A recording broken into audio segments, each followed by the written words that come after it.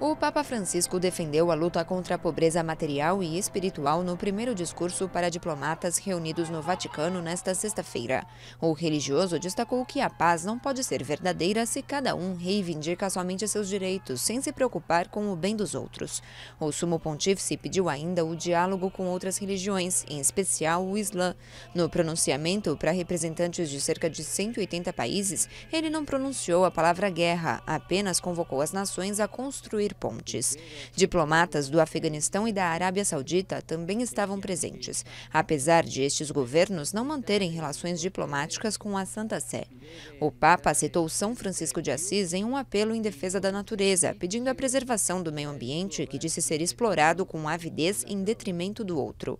Dez dias após ser eleito, o chefe da Igreja Católica vai visitar sábado na residência papal de verão o antecessor Bento XVI, em um encontro histórico entre dois papas, um emérito e outro em exercício.